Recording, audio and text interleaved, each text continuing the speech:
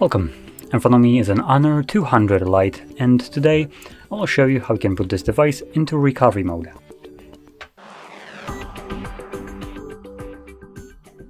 So, to get started you want to hold your power button.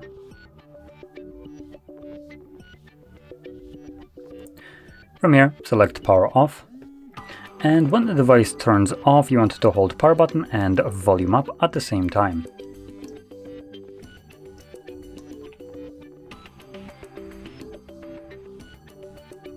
Now once you see the logo on the screen, let go of the power button, but keep holding volume up.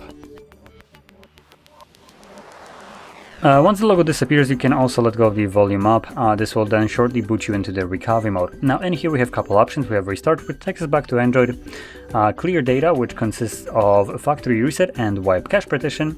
Then we have update mode and safe mode. And you can see you can uh, just simply tap on each one of these options to basically accept it instead of using the volume buttons as you would typically uh, use in recovery mode, but you can also use volume buttons if you like to. Anyway, I'm gonna select restart just so I can get back to Android.